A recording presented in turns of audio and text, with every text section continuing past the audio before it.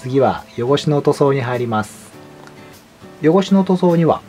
こちらのミスターウェザリングカラーを使用しました。色数も増えて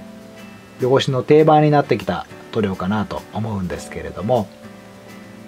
従来ある墨入れ塗料との違いであったり墨入れ技法にこちらをどのように使ったらよいのかちょっとわからない方もいらっしゃると思います。今回はオイル汚れや、え、ホコリ汚れの、え、実例を通じまして私なりの使い方をご紹介したいと思います。